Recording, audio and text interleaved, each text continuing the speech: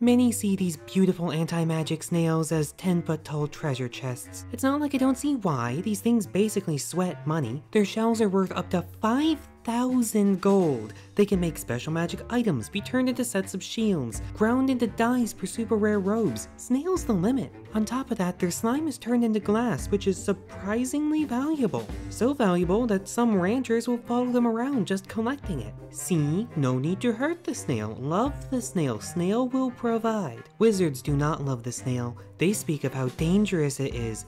They are correct, if provoked. The snail does not attack unless a dangerous creature comes very close. They just want to eat rocks and savor tasty crystals.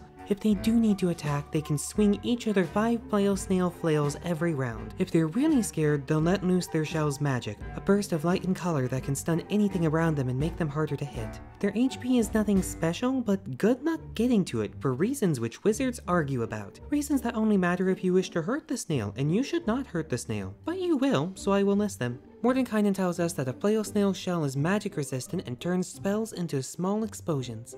If pressed, it will retreat into the shell where it cannot move, is bad at hitting you, and you are better at hitting it. He says that they do not lose their flails.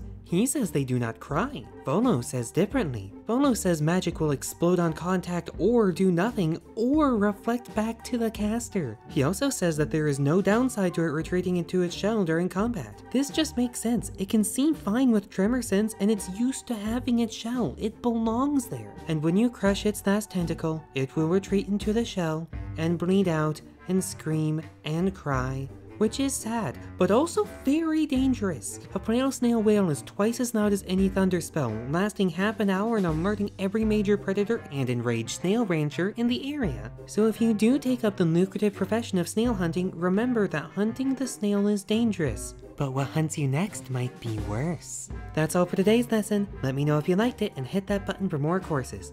Class dismissed.